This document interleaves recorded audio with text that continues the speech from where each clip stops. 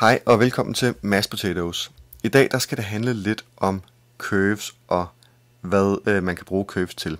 Curves det er et øh, værktøj, som øh, i bund og grund bare styrer, hvordan øh, lyset, hvor meget øh, mørkt og lyst der er i et billede. Øh, men i virkeligheden der er det et enormt avanceret værktøj, som kan utrolig meget, hvis man forstår at bruge det rigtigt. Og man kan opnå nogle helt fantastiske resultater med curves. Men før vi går i gang med det, der vil jeg lige præsentere en lille smule teori. Øh, det er lidt kedeligt selvfølgelig, men det gør, at man forstår værktøjet noget bedre.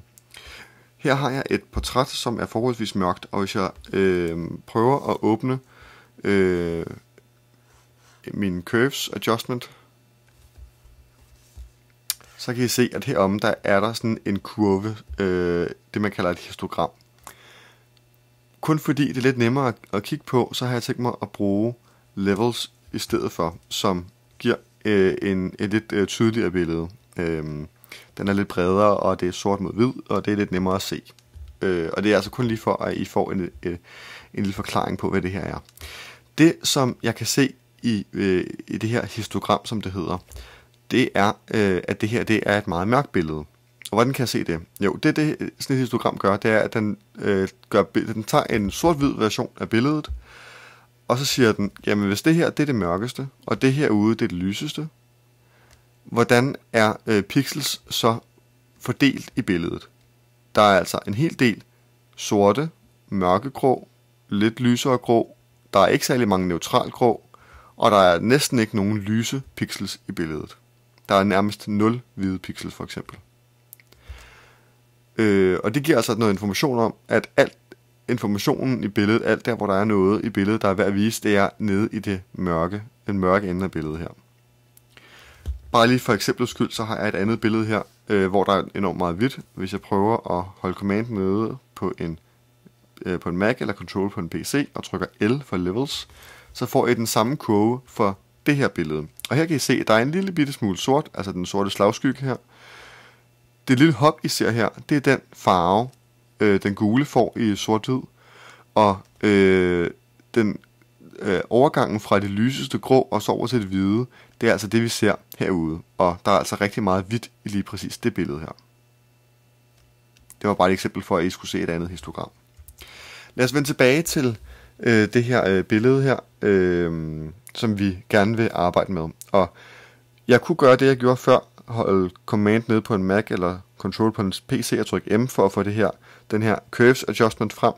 Men vi har muligheden for at få det op på sit eget layer, hvilket giver os en helt del mere kontrol senere hen. Så jeg vælger bare curves her, og så får jeg den her frem. Det vi kunne se før, det var, at der var altså rigtig meget information nede i det mørke, men i hele det her, den her del af spektret af, af billedet, der er der nærmest ikke nogen informationer. Så det vi kan gøre, det er, at vi kan sige, jamen i stedet for, at du øh, bruger øh, en masse af billedets register på øh, ikke at vise noget, jamen så lad os sprede de her informationer ud på hele billedet. Og det gør man simpelthen ved at definere startpunktet og herop slutpunktet på billedet. Så hvis jeg flytter den her op herned til, så vil vi allerede se en dramatisk ændring i billedet. Nu er der lige pludselig noget herude, der bliver næsten hvidt, altså for eksempel glimtet i hendes øje her. Øhm, og jeg har stadigvæk det, det mørkeste sorte, øh, for eksempel i håret her, eller i hendes øh, tøj. Hvis jeg så bruger den her bue en smule, så har jeg altså mulighed for også at ændre, øh, hvad hedder det, altså lave en flydende overgang for, øh, at billedet skal blive lidt lysere. Øh, jeg kunne også gøre det modsatte, og gøre det lidt mørkere. Og en af de ting, man ofte gør i curves her, det er at lave en lille S-kurve, hvilket giver en lille smule mere kontrast. Det, det jeg så siger til billedet, det er, jamen nede her i den mørkere del, der må det gerne være lidt mørkere, men op i den lysere del, der må det gerne være endnu lysere, end det er i forvejen. Det her var måske lige i overkanten. Jeg tror måske lige, hvis vi skruer en lille smule ned her. Sådan nogle S-kurver her skal ofte være meget, meget øh, milde, eller hvad man kan sige. Det skal ikke være noget skarpt, så får man sådan nogle meget øh, kontrastfulde, næsten... Øh, øh, ja, den bliver næsten helt effekt i sig selv, det her. Så lad os lige prøve at se, om vi kunne vende tilbage til den her lidt blide SK her. Det, synes jeg, det her synes jeg fungerer temmelig godt. Og vi er allerede nået rigtig langt, men en af de ting, vi også skal gøre med øh, Curves-værktøjet, det er at arbejde med hver farve for sig. Og det her billede, det er taget med et blåt filter på, øh, på lyset, og øh, der er vi faktisk mulighed for at gå ind og lege lidt med. Så hvis jeg går herop, hvor jeg kan vælge min, min kanal, der kan jeg for eksempel prøve at sige i det blå, at øh, jamen, der skal være mindre blåt i billedet. Og der kan jeg simpelthen bare trække den lidt ned herinde mod midten her.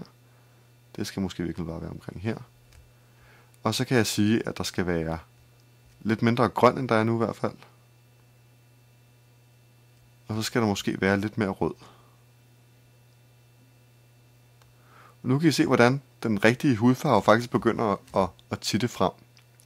Jeg kan også gøre noget helt andet. Jeg kan gøre det, hvis jeg går tilbage til RGB her, at jeg kan vælge det her værktøj hernede til at vælge en, en gråtone i, i billedet. Og jeg ved, at det her ude, det skulle gerne være nogenlunde gråt øh, på, det, på det rigtige billede.